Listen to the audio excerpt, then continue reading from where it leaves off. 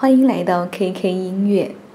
又到了年底，各大榜单纷纷出炉，其中最受关注的必然是2021年韩剧平均收视率 TOP 十，表现最亮眼的当属 SBS 电视台凭《顶楼二》《顶楼三》《一个女人》《模范出租车》一举包揽了前四名，TVN 则是凭借《哲人王后》《机智的医生生活二》。文森佐海岸村恰恰恰占据第五至第八名的位置，另外第九、第十名被 TV 结婚作词、离婚作曲二和 SBS 红天基拿下，而去年凭借夫妻的世界豪夺年度收视冠军的 JTBC 颗粒无收，没有一部剧登上2021年韩剧平均收视率 TOP 十，在即将过去的这一年里。JTBC 加大了投资，请来了黄正明、全度妍、高贤贞、李英爱等顶级演员，可惜都未能再创佳绩，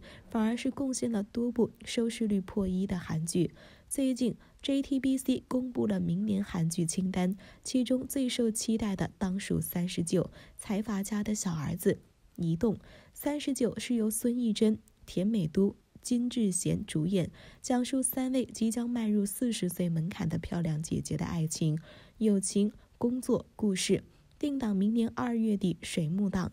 爆料分析，爆点分析：三十九翻拍受到韩国人喜爱的中剧《三十而已》，是一部女性题材剧，更容易引发女观众共鸣。另外，该剧是孙艺珍继《爱的迫降》后的回归之作，还请来了。靠机智的医生生活走红的甜美都，财阀家的小儿子改编自同名人气网络小说，由宋仲基、李新民、申贤彬主演，讲述顺阳集团秘书尹贤玉含冤被害后重生为集团小儿子陈道俊，决定展开复仇大计的故事，预计五月份播出。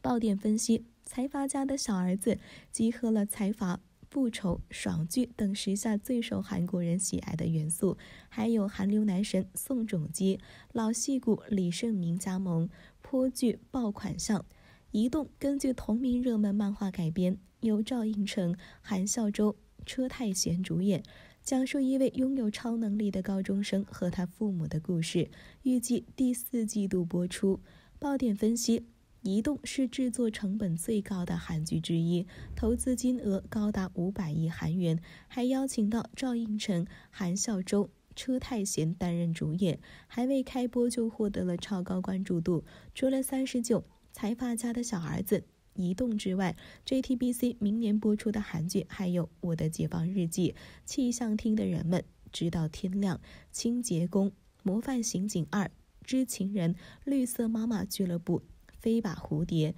和今年一样，JTBC 明年的演员阵容依旧亮眼，不但有孙艺珍、宋仲基、赵寅成、韩孝周、车太贤，还邀请到李明基、金智媛、朴敏英、宋江、韩石圭、郑玉美、连金雅、孙贤周、张胜祖、姜河娜、李玉英、李瑶媛、邱慈炫等艺人出演新剧。那么你觉得哪部剧最有可能为 JTBC 重新夺回年度收视冠军？谁又将成为 JTBC 的救星呢？